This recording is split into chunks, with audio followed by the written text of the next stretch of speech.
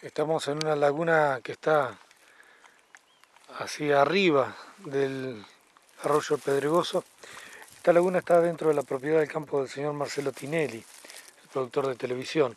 Hasta aquí llega el camino que están haciendo los brigadistas para poder combatir el incendio que ya lleva consumida unas 20.000 hectáreas aquí en la zona. Podemos observar cómo conforme avanzan las horas se, pueden ver pavesas de fuego que están volando por todo el sector.